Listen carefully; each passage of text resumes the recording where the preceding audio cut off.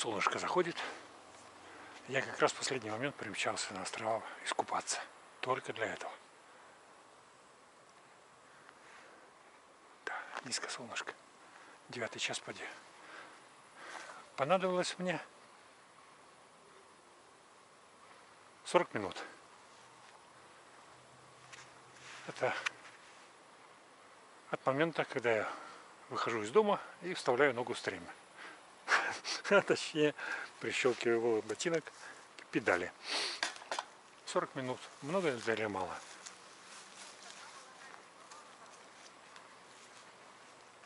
Отличная тренировка. Во-первых, надо заметить, что 40 минут не просто не выкинутые на езду в транспорте. Часы или минуты. А велотренировка, где я выбираю темп, какой хочу.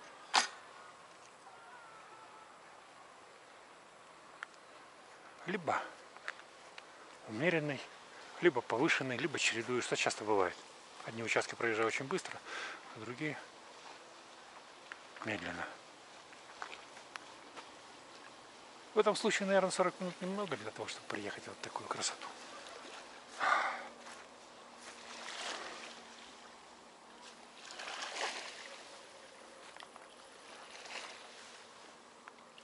Ой, ой. Можно и за 30 приехать, на самом деле. Почти, да, 31-32 минуты. Я так думаю. Но сегодня грех торопиться. Сегодня можно просто наслаждаться жизнью.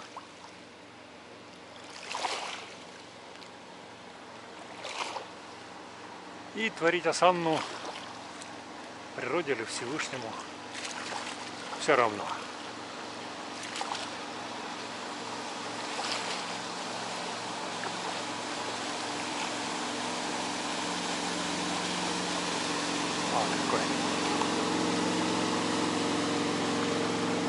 Катер, он тут вечно открыт.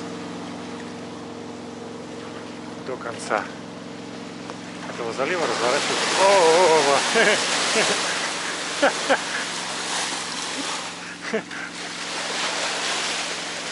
Хорошо, что вспомнил последний раз. А. Фу.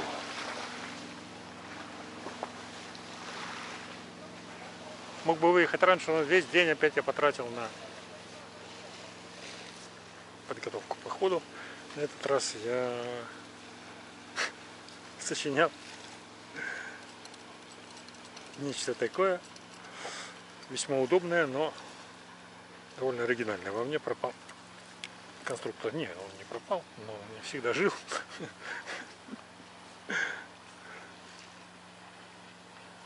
Но домашний конструктор реализовался. Мой конструкторский дар реализовался в домашней сфере. В узкой прикладной сфере. И вот у этого чехла, он отменный чехол. Вот. Влагозащитный более-менее. Крупный.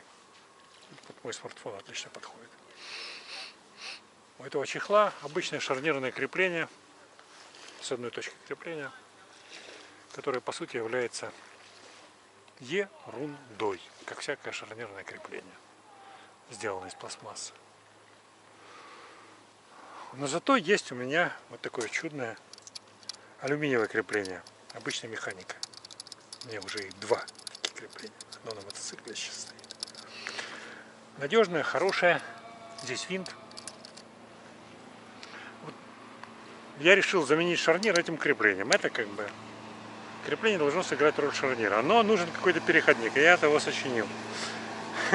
Причем такой переходник, чтобы был достаточно эластичный. Случае какого-то случайного удара в походе по этой, этому держателю, чтобы он не сломал все на свете,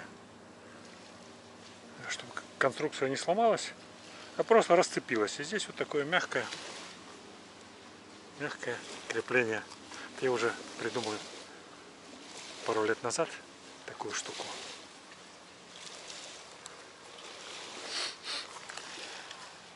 Это можно снять. Чик. Устанавливается очень просто. Ставишь, зажимаешь. А, да, мы еще. Бывает так, что такие необыкновенные ситуации, что может в дороге у тебя просто все вылететь. Поэтому, если уже чехол этот выбит полностью из этого держателя, то он просто будет болтаться у меня. Такое бывало с навигаторами не раз. При попадании в рытвину какую-то на большой скорости. Поэтому навигатор у меня гарминовский спасался таким вот образом болтается после удара. Это очень важно. Ставим, закручиваем. Можно вообще крепко. Плюс мое усовершенствование. Я не люблю вот эти вот замки.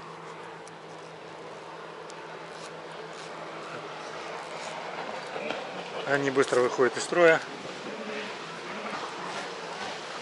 Поэтому здесь они используются частично. Снизу там сделан крючочек небольшой. Крючочек. Здесь резинка. Кольцо. Раз. Вынул. Посмотрел, что надо и опять закрыл верхнюю часть. В результате молнии практически не используют, они стоят в каком-то таком положении. Постоянно. Это я уже отпрактиковал такой метод. Закрываешь вот так. В дождь можно закрыть, но это бывает очень редко. Все.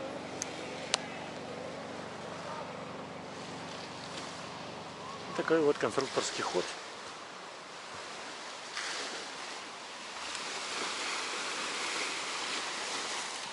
И на это вот все у меня ушло 5 часов чистой работы. Плюс надо убрать за собой рабочее место, там, покушать. 5 часов чистой работы на такую ерунду. Казалось бы, жалко времени.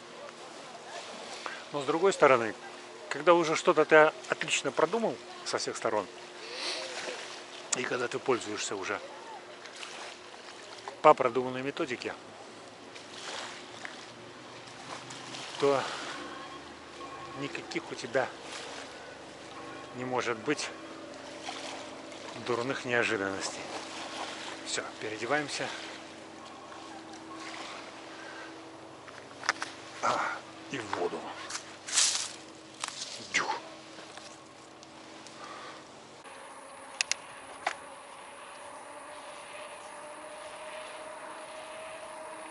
Ну вот фонарики засветились.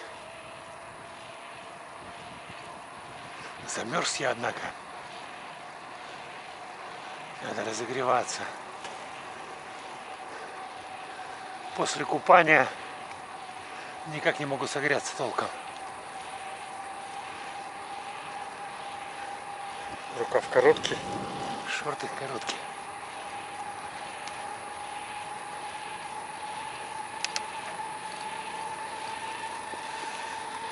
Но от асфальта тепла больше, чем от песка. Асфальт все-таки сильнее нагревается. Днем черный.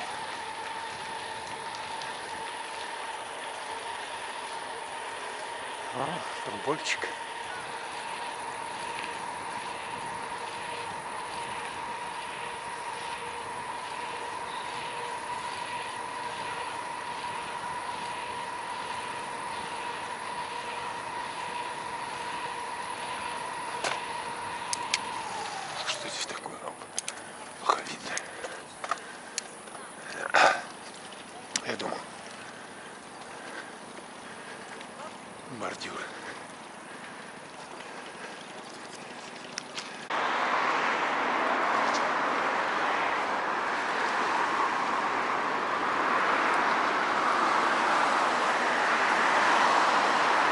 Ух, согреваюсь.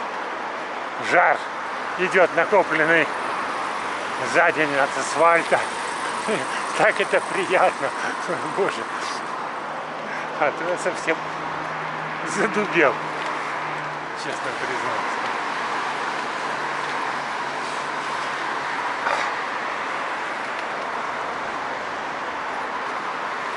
Фу. Отлично.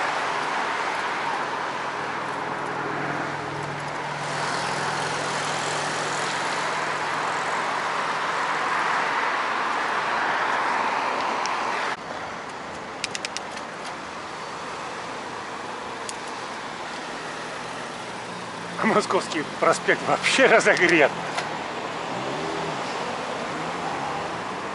А это белая машин, которые сегодня проехали. Прямо излучает снизу тепло. Ну, плюс, конечно, солнце.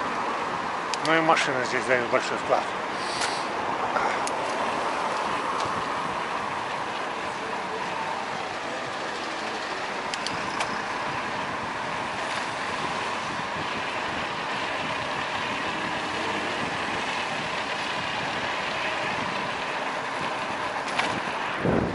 У меня здесь обычно всегда тренировочное упражнение.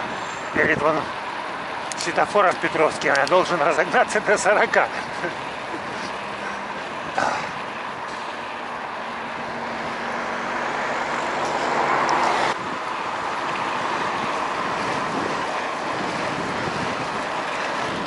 Ну, точно 40.